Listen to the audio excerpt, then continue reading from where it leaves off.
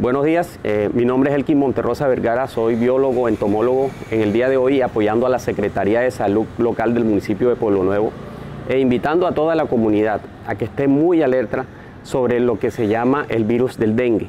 Es importante que ustedes sepan que este virus, que esta enfermedad es transmitida por el mosquito Aedes aegypti, un mosquito que se cría en nuestras casas, que se cría en el agua limpia de la alberca, del tanque que tenemos en los patios, en las llantas que están descuidadas, en las botellas que están en los patios. Entonces, por favor, en esta temporada que entra de lluvias, vamos a tener mucho cuidado con todos estos criaderos,